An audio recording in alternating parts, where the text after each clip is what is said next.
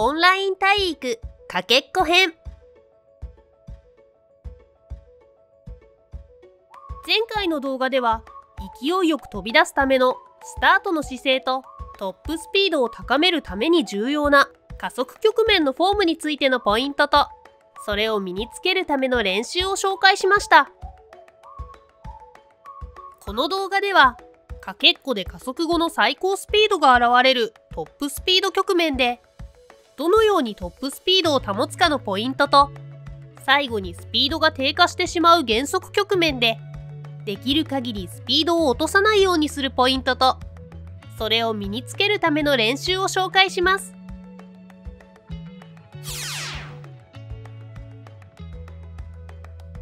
この動画を活用する際には撮影した自分の走り方と比べて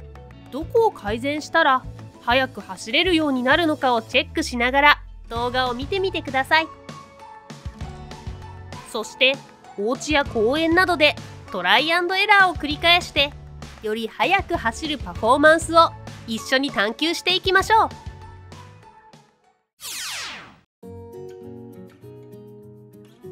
それではまずはトップスピード局面のポイントについて紹介します。加速後にトップスピードの状態を保つためにはどのようなフォームで走ればよいのでしょう？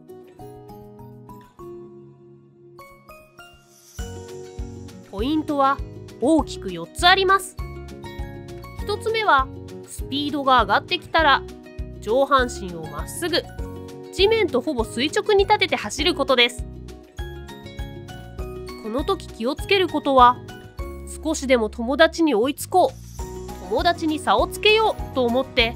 前のめりに走ると逆に速く走れなくなってしまうので上半身が地面と垂直かどうかを撮影した映像で確認しながらこのポイントを練習してみてください。次に2つ目のポイントは前足が体の真下について地面を蹴ることです。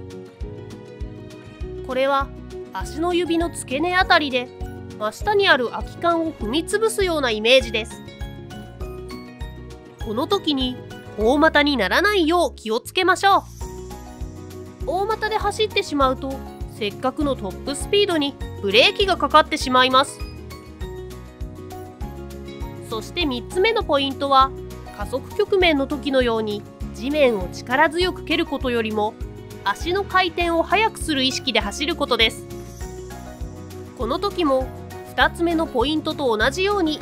大股にならないように気をつけましょう。大股で走ってしまうと足の回転が落ちてしまうので2つ目のポイントと合わせて覚えましょう。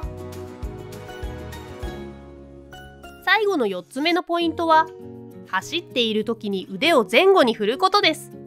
これは腕を横に振って走ってしまうと前に進むために足で蹴った力が左右にぶれてしまうためです。そこで練習の時に腕を振らずに走ってみたり横に振ってみたりしながらどの動きの時が前に進んでいる感覚が得られやすいかを試してみてください。ここまでがトップスピード局面のポイントです。みんなの走るフォームはポイントと比べてみてどうだったかな？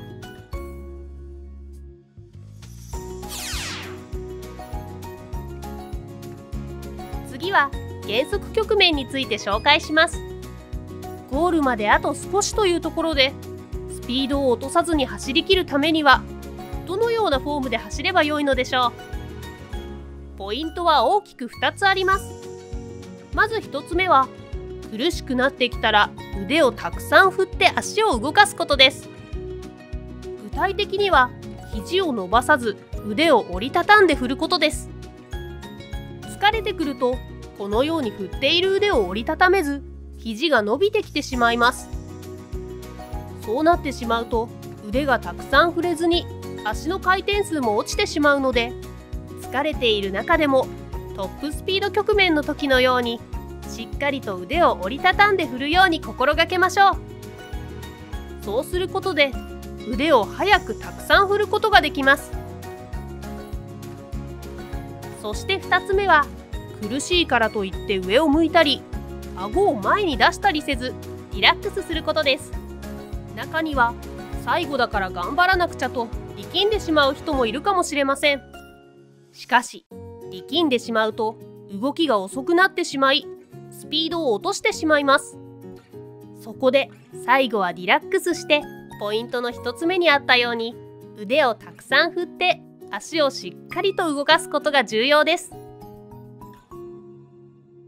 ここまでが減速局面のポイントです。みんなの走るフォームはポイントと比べてみてどうだったかな？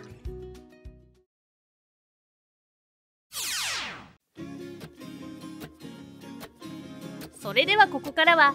正しいトップスピード局面と加速局面の走るフォームを身につけるための練習を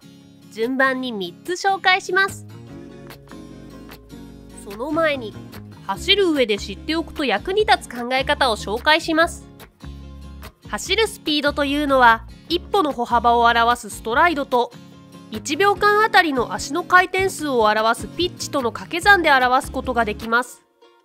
この時ストライドを大きくしすぎるとピッチが低下してしまい逆にピッチを大きくしすぎてもストライドが小さくなってしまうのでどちらもスピードが出なくなってしまいます。そこで速く走るためには最もスピードが出るような自分に合ったストライドとピッチを走り方の分析や練習を通して探求していくことが重要になります。このことを踏まえて1つ目としてピッチとストライドを調整する練習を紹介します。みんなには歩幅を短くして走るパターンと歩幅を長くして走るパターンで全力疾走をしてもらいます。まず歩幅を短くして走るパターンはスタートラインから 60cm 間隔で10個分ぐらいの印をつけてその印を踏むような意識で全力疾走をします。歩幅を長くして走るパターンはスタートラインから 70cm 間隔で10個分ぐらいの印をつけて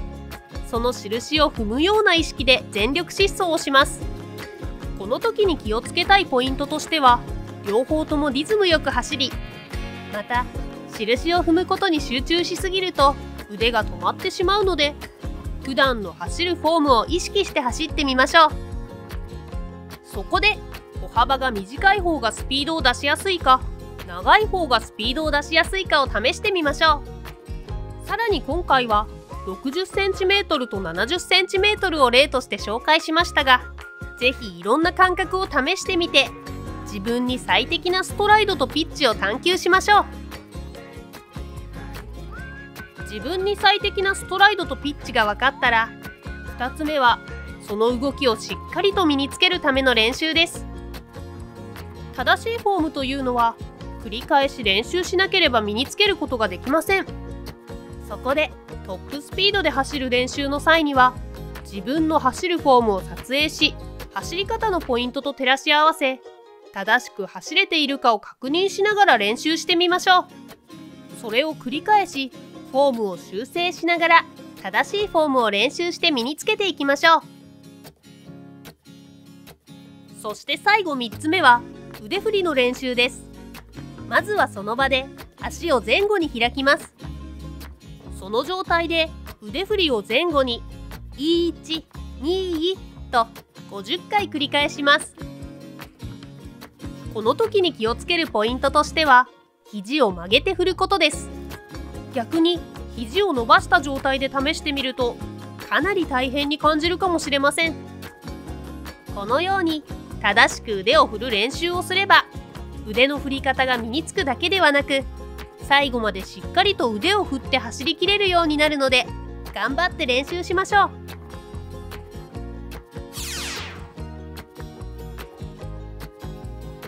までかけっこで加速後の最高スピードが現れるトップスピード局面でどのようにトップスピードを保つかのポイントと